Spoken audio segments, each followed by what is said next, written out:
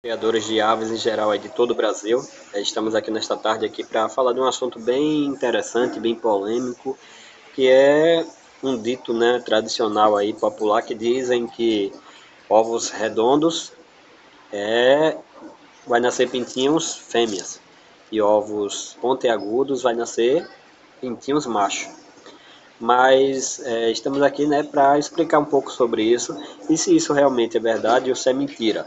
Tem como a gente saber se o pintinho vai nascer, vai ser fêmea ou macho a partir do ovo, pelo formato do ovo? Então vamos estar tirando essa, essa dúvida e que é uma dúvida de muitas pessoas que têm nos perguntado aí já quase todos os dias tem cerca de 10, 15, 20 perguntas acerca desse assunto. Então é um assunto que parece ser bem simplesinho, mas muita gente ainda se confunde. Então vamos lá. É, esse ovo Aqui, né, o que o pessoal sempre diz que é o redondo que vai nascer a fêmea. É uma tradição aí que vem de muito tempo, dos nossos avós, e a gente vê já se é mito ou verdade. É, tem um ovo aqui também, outro, pontiagudo. Esse pontiagudo aqui o pessoal diz que vai ser um pintinho macho.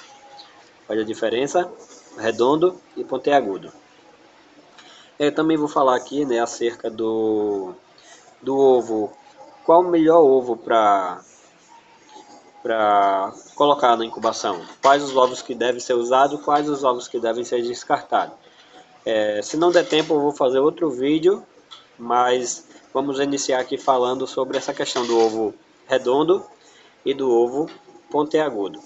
É, primeiramente, nós vemos aqui que tem uma diferença no formato do ovo. Isso é bem notório. Só que não tem nenhuma base científica, não tem nenhuma conclusão ainda formada de que realmente o ovo redondo vai ser fêmea e o pontiagudo vai ser macho. Se fosse real isso, essa história fosse verdadeira, é, hoje em dia as grandes granjas, como nós sabemos, elas utilizam e querem, é, almeja mais uma quantidade de fêmeas, porque eles, eles visam maior, é, com, com mais lucratividade, eles visam a postura das aves, né? E nós sabemos que só as codornas fêmeas vão pôr. Então, se isso fosse verdade, as grandes granjas, as grandes empresas aí de avícolas, elas saberiam e só poriam para chocar os ovos redondos. Pronto, isso é uma primeira verdade. Isso não acontece, né? É... E descartariam esse ovo, que é o ovo pontiagudo, porque só nasceriam machos. É... Outra pergunta aí que eu faço e deixo uma em aberto para alguém responder, ou quem defende essa tese de que ovo redondo é fêmea e ovo pontiagudo é macho. Você pode ver uma codorna, uma galinha, que ela põe um ovo redondinho, de forma redonda. Geralmente, essa codorna ela vai continuar sempre que pondo ovos nesse formato redondo. A galinha ou a codorna que põe ovo pontiagudo, você pode ver que ela vai sempre que constantemente pôr ovos pontiagudo.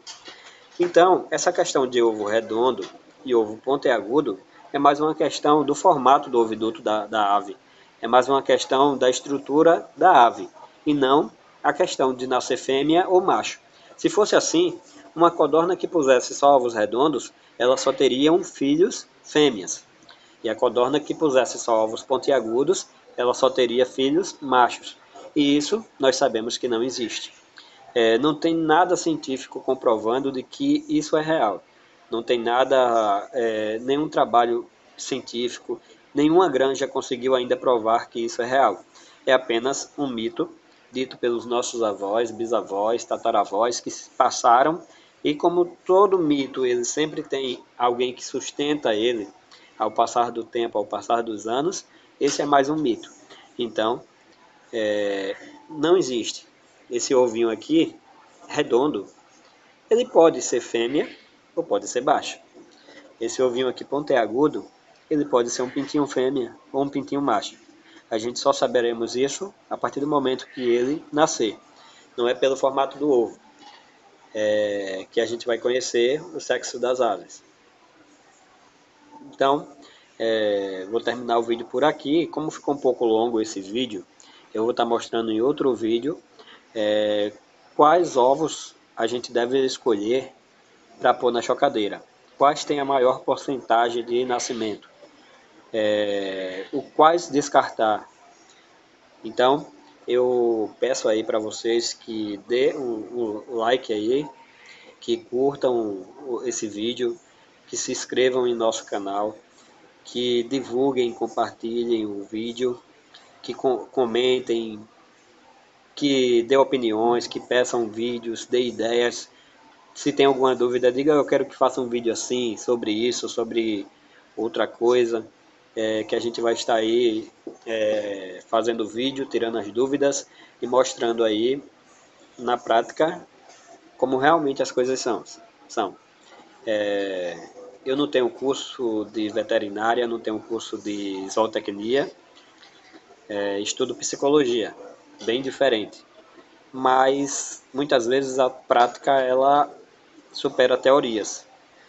Já tem três anos aí que a gente está mexendo com aves, com codornas, e a gente tem prestado bem atenção aí a cada detalhe. É, são muitas perguntas todos os dias e a gente vai aprendendo é, com o que a gente já sabe e com a cada dia acrescentando aquilo que outras pessoas trazem para a gente, que outras pessoas faz a gente conhecer. Então, pessoal, agradeço aí, faça as suas perguntas, compartilhe, se inscreva em nosso canal, participem em breve, em breve aí a gente vai estar pondo mais vídeos. Então, a partir de agora vocês já sabem, é, não tem essa história de ovo redondo ser fêmea, nem ovo pontiagudo ser macho. Ambos podem ser fêmea ou macho aleatoriamente. Como falei várias, várias, várias vezes, vem pessoas dizer bem assim, ô oh, Darlon, eu quero comprar ovos certos, mas eu quero que você só mande ovos fêmeas. Mas não existe, não tem como. E outras pessoas, né, diz não, mas meu avô dizia que era assim, e eu botei na chocadeira 30 ovos redondos nasceu, mas sem base científica, sem nada. Então, terminando aqui, amigos. Valeu aí pela pelo likes aí, quem for dar os likes, compartilhar. E desde já agradeço. Valeu. Até a próxima.